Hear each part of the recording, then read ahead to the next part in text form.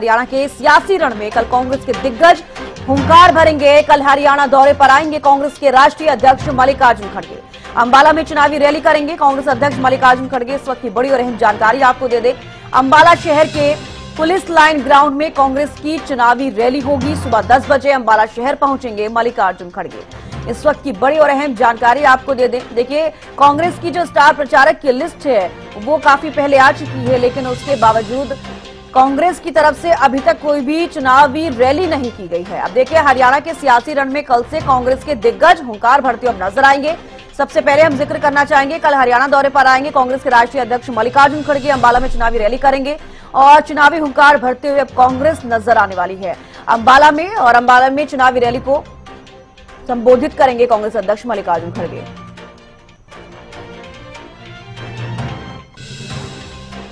राघव जी संवाददाता अंबाला से जुड़े हैं ज़्यादा जानकारी लेंगे उनसे। राघव फ़िलहाल देखिए कांग्रेस जो है चुनावी हुंकार भरने जा रही है अंबाला शहर से ही।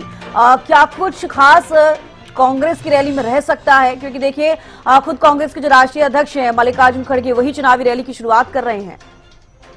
जी बिल्कुल आपको बता दें कि सभी राजनीतिक पार्टियों ने अपने स्टार प्रचारकों की सूची जो है जारी कर दी थी तो ऐसे में अगर बीजेपी की बात करें तो उन्होंने बहुत पहले ही चुनावी हंकार जो है रैलियों के माध्यम से शुरू कर दिया था।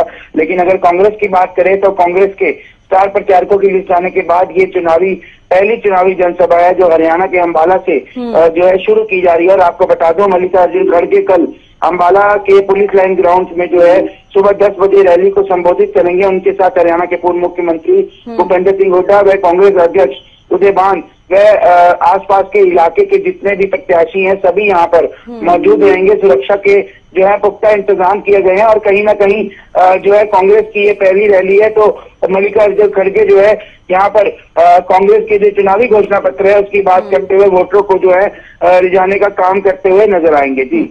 आ, बिल्कुल देखिए राघव जिस तरीके से अब रैली कल होने जा रही है कहीं ना कहीं मैं ज़िक्र करना चाहूँगी देखिए कांग्रेस की तरफ़ से इस बार रणनीति तो काफ़ी बनाई जा रही है लेकिन कहीं ना कहीं देखिए देरी करती हुई कांग्रेस नज़र आ रही है और ये भी बड़ा सवाल कि इस बार चुनावी रैली भी कांग्रेस की तरफ़ से काफ़ी लेट की जा रही है। जिस तरीके से आपने भी ज़िक्र किया मैंने भी किया कि स्टार प्रचारक की लिस्ट आ चुकी है कांग्रेस की उसके बावजूद कोई रैली नहीं की गई।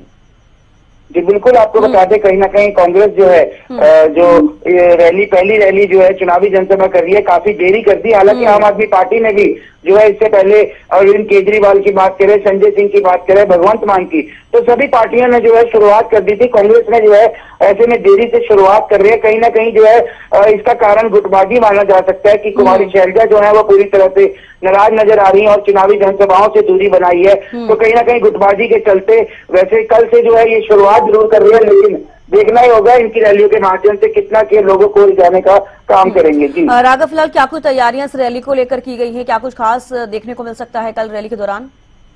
जी बिल्कुल सुरक्षा के जो है पूरे पुख्ता इंतज़ाम किए गए और रैली की अगर बात करें तो सभी प्रत्याशी आसपास के यहाँ के जो अम्बाला लोकसभा के प्रत्याशी हैं चाहे कालका की बात करें पंचकूला जगाधरी मुलाना सडोरा नारायणगढ़ और अम्बाला शहर और अम्बाला छावनी इन सभी के कैंडिडेट जो है यहाँ मौजूद होने की ऐसे सूत्रों द्वारा बताया जा रहा है और रैली में जो चुनावी घोषणा पत्र में सात वादे पक्के इरादे हैं उस पर लेकर जो है वोटरों को रिझाने का जो है काम किया जाएगा तमाम नेताओं द्वारा जी। बिल्कुल राघव जिस तरीके से अब कांग्रेस की सात गारंटी जो है सामने आई है कहीं ना कहीं उन्हीं को लेकर चुनावी हुंकार भरते हुए कांग्रेस नज़र आएगी।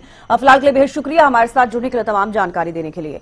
तो देखिए आपको बता दें कि कांग्रेस भी अब चुनावी हुंकार भरती हुई नज़र आएगी, क्योंकि कल जो है, खुद मल्लिकार्जुन खड़गे जो है अम्बाला में रैली करेंगे और चुनावी हुंकार वहाँ से भरते हुए नज़र आएँगे। क्या कुछ तस्वीरें रहेंगी लगातार आपको अपडेट देंगे। देखिए अम्बाला में चुनावी रैली करेंगे कांग्रेस अध्यक्ष मल्लिकार्जुन खड़गे। इस वक्त की बड़ी जानकारी आपको दे रहे हैं।